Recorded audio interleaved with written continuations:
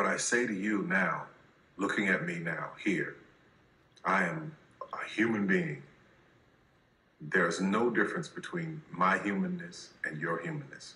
The only thing is, if you're trying to get there, you cannot stop believing in any way. No matter what anybody says, no matter what anybody tells you, you have to know it beyond knowing it. And it is a, it is a feeling. When something is for you, this is how I knew it was for me. When something's for you, there's a feeling that is deep down inside of you that will not allow you to let it go. You have it will it will keep you going when you can't even keep yourself going. That's why the mantra here at the Tyler Perry Studios is a place where even dreams believe.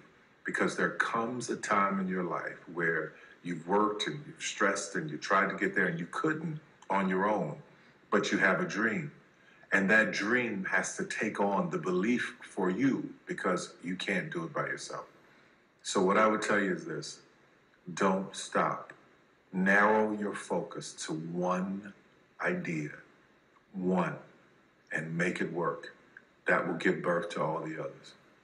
All you can do is plant the seed and water it. God Himself has to give the increase. Only God can make the sunshine. Only God can bring the rain. But if you planted the seed, then you've done your part. I wish you so much success in 2012. Anything you want is possible. God knows I'm a living witness. Please feel me. Please hear this from my heart. Anything you want is possible. If I didn't believe it, I wouldn't take the time to send this message to you. Take care of yourself.